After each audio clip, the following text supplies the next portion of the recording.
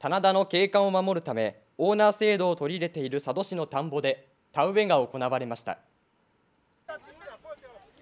足を取られながらも稲を丁寧に植えていきます。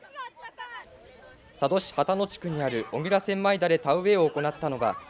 島内のオーナーや管理組合員およそ110人です。小倉千枚田は金山によって繁栄した島の人口が急増したことによる食料不足を解消するため開墾されました。その後荒廃が進みましたが現在はオーナー制度を導入して景観の保全に努めています。